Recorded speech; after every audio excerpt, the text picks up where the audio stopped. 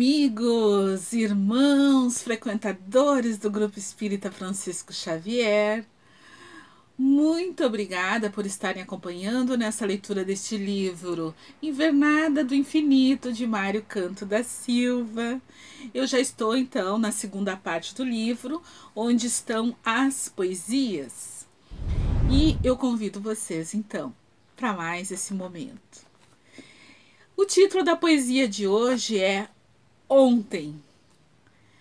Deus, bom e amado meu, ontem eu não entendia e sofria, chorava, amava e buscava. Hoje, hoje eu entendo o porquê da nostalgia estiveste ao meu lado noite e dia, noites que não terminavam e dias que também não começavam.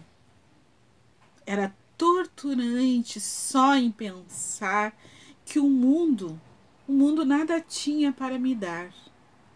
Eu é que devia me levantar para no caminho encontrar dois pedaços de pau em forma de cruz e dali retirar a luz que iluminaria a minha alma para andar com mais calma e poder ouvir o teu chamado e na tua seara trabalhar ajudando, ajudando os que lutam e sofrem, transformando o escuro em luar. O mundo numa passarela onde todos possam desfilar num desfile lindo de afinidades, posando para a eternidade e na desigualdade ver a igualdade perante Deus nosso Senhor, que não faz distinção entre filhos.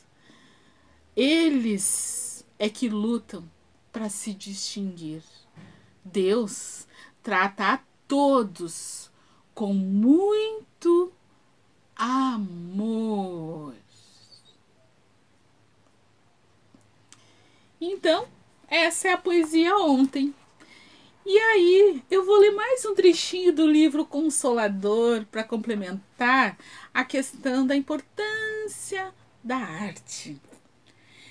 Então, no livro Consolador, na parte da filosofia, onde ele trata dos sentimentos, ele faz algumas, algum, traz alguns conceitos sobre a arte na visão espírita.